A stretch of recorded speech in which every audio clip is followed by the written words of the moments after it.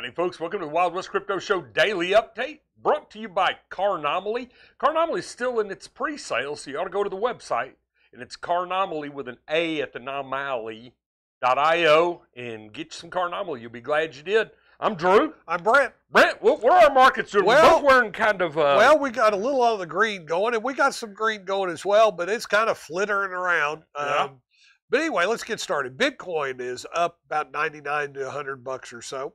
Puts it about 11, 540, uh, 35, 40, depending on the exchange. What's interesting is, is uh, Bitcoin's holding up its end of the log, and the overall markets are holding up just a little less than their end of the log, but not a whole lot. So kind of a, a good update all the way around.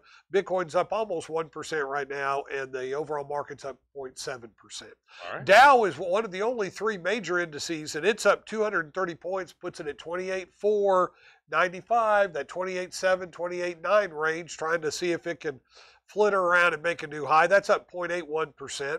Uh, the S&P is down just five points, which is 0.15%. Nasdaq's down 48, which is 0.4%. Gold, God's money's back up 639. That puts it at 1907. Silver is up about two cents. That puts it at 24.27. And West Texas Oil, uh, or Earl as I like to call it, is a clean $41. So we like that. Anything around 40 bucks or a little above is good. And the futures are up. And in fact, they're really starting to price in some of that uh, move in Bitcoin because your December 21s are at 12,540 and the fair market value is 11,538. So Yeah. they're running about a thousand points higher than what the current valuation of Bitcoin is. Well, and, and you know we talked about it yesterday on the update, but uh, soon as uh, soon as Bitcoin hits a million dollars in five years, Yeah. you know We're all so- going to be rich. Yeah, yeah. But let me tell you something. They're on sale right now for eight a million right. bucks in five Yeah, years. yeah. Yeah, pretty good. Um, a deep discount right now. yeah, yeah, deep discount. So everybody knows uh, uh, Max Keiser, and it- one of the things that he says, which I think most of us out there that understand the financial markets can Yeah. agree with this, but he says governments and banks are the only winners with fiat currency, Oh, sure. and it's That's why that's why everybody's becoming such a crypto enthusiast all around the world. Everybody from John McAfee down to uh, Crypto Finally or, Yeah, yeah, or Miss yeah. Teen Crypto. Yeah, or yeah, you bet. A lot of those girls that we have on. We're, we're catching them all. Yeah, he says you can only try to win the hand with a high with a high hand, gold, silver, and Bitcoin. So once again, he's talking about, these are the things we've been talking about: safe haven assets, gold, silver, and your cryptocurrencies. Okay.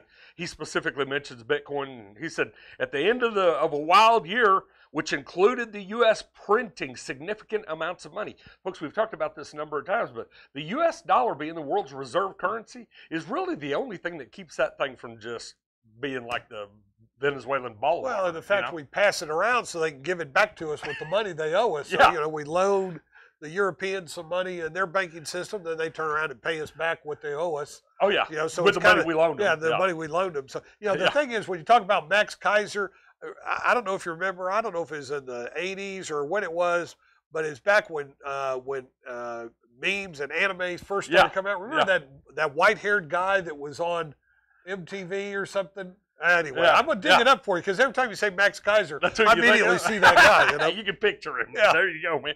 That's a. I'd like to say that every time I say Joe Biden, you can picture him, but he's been hiding in his basement. So, hey, folks, through till the election, you're probably going to hear a Joe Biden pun every day.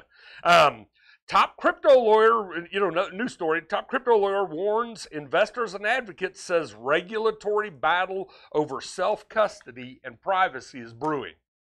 So you know, I, let me tell you, and it's it's this is one of those damning things with our with our federal government, and we talk about this routinely. SEC is going to come in there, and they're going to they've they've kind of been watching crypto, and they've done little things here and there, slap on the hand and all that. Problem with this is the deeper we get into it. I think remember Ripple's talking about Oh, yeah. moving out because they're so Oh, wishy washy. Well, the problem is this: they they tell you what kind of milk you can drink. Yeah. They, they tell you whether you have to wear a seatbelt or not. What kind of light bulbs? Yeah, what, what, kind, of toilet light bulbs, what kind of toilet, how many gallons that toilet can flush. You know, Yeah. if you're a big goer, you're in trouble because they, they don't put they don't put enough water in the toilets to flush anything down. Yeah, You know, uh, all these different things. Why would you think they're not going to tell you what to do with your crypto? you bet. And and when they do, trust me, it will be to their benefit because crypto's not that and so, fear. all of y'all that are that are you know in the process of deciding who you're going to vote for, and I'm sure there are actually some people out there that that are in there. you know, sit down and think about the fact that you know the government is not the solution; it is the problem. That's it. That's exactly right. And folks, listen to this. Said it a number of times. Absolutely true. The government also does not produce anything. No. All they do is consume. So the bigger it gets, that's why with with Kamala and and Biden Biden, they're wanting the government to be so big that you know we're all You know, and if I could draw, I'd draw a car, draw a cartoon because you know the government at one time was just a little tick on a dog. Oh, yeah. we're the dog. Yeah. Now you've got an emaciated dog and a tick that's about a 105 pound tick that's sitting Yeah. on top of the dog, telling the dog, li- whipping the dog yeah, harder sucking the life out of it, saying, "I, I need more money. Yeah. I gotta save you." Yeah. Hey, listen, our, our good story for the day an Atlanta cop gifts a woman, a mother of five, who was actually a, a, a victim of abuse, spousal Oh. abuse. And uh, she got this 27 year veteran of the Atlanta Police Department, Veronica Campbell, saw this mom. She was trying to get reestablished and everything, gave her her SUV so she could run the family around. Yeah, I'll tell you. You what. know, kudos, man. yeah, do something that make God proud today. You bet. Absolutely. Folks, thanks for tuning in. We'll see you back here again tomorrow.